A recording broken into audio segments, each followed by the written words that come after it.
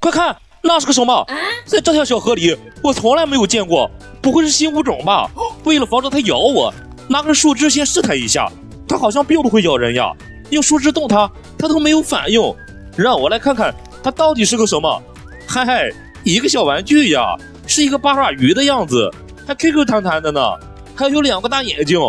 哎，它的脑袋上怎么全是窟窿眼呀？而且捏起来这也太舒服了。快看，把它放在水里捏，它居然还会冒泡泡，这也太好玩了。哎呦我去，它居然还会喷水，放在水里让它吸满水。然后用力一捏，哇塞，真爽！哎，快看，石头缝里好像还有，给我出来！藏的倒是挺好。这又是一个八爪鱼玩具，一个红色，一个黄色。试一试这个红色的吸水效果，似乎也很厉害。捏一下试试，哇塞，这次水量感觉比那个黄色的厉害。这个红色的应该是母的，软软的大脑袋，真想咬上一口。你们说它的脑袋里面会装着什么呢？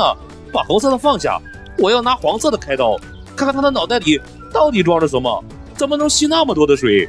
我去，这么结实的吗？竟然还没有割开，那就再来一次，可算是割开一个小口。这么小的口肯定拿不出来，把小口扩大一下，这次差不多了。原来这里面装了一块海绵呀！我说怎么那么能吸水？再把海绵给它装回去，看看还能不能玩。先把它吸满水，看看一会儿我能不能。把海绵给它捏出来，哇塞，怎么感觉比刚才水量还大呀？并且这个切口一点也不影响，我严重怀疑他俩是一对儿，连玩具都是一对一对的，所以我要把它拿走，强行把它们分开。